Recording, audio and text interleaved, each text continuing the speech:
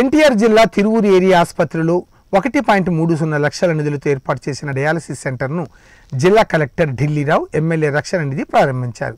Collector Dilli Rao మాట్లాడుతూ నియోజకవర్గంలో silicon ప్రభావం ఎక్కువగా ఉండటం వల్ల అత్యవసర వైద్య సేవలను అందించేందుకు ప్రణాళికబద్ధంగా చర్యలు తీసుకోవడం జరుగుతుందని కలెక్టర్ పేర్కొన్నారు.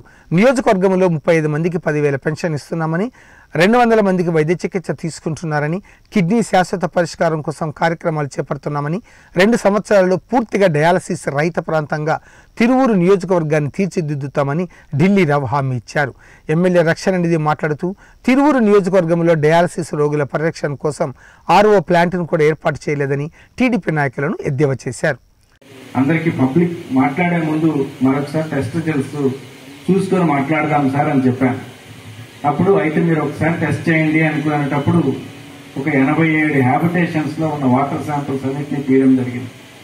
ఆ ఎనభై ఏడు హ్యాబిటేషన్స్లో సుమారు డెబ్బై రెండు హ్యాబిటేషన్స్లో మనకి నన్ను యావరేజ్ ఇరవై ఎనిమిది ఎంజీ సిలికాన్ అనేటువంటిది ఉంది అని చెప్పేసి మనకు అనిపిస్తుంది.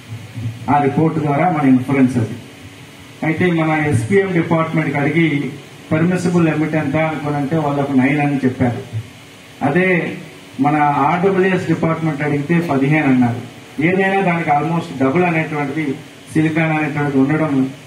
కాబట్టి దీనికి పర్మనెంట్ సొల్యూషన్ అయితే ఖచ్చితంగా వాటర్ అనేటువంటిది మనము ఖచ్చితంగా సర్ఫేస్ వాటర్ ఇవ్వాలి.